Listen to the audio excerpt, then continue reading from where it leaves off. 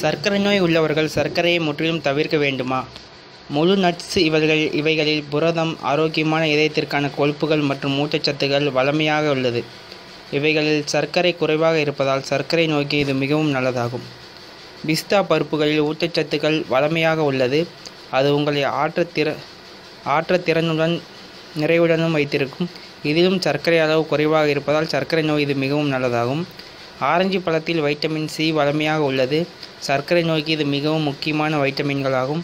இதில் சர்க்கரை அளவு குறைவாக இருப்பதால் சாப்பிடுவதற்கு இது பாதுகாப்பானது.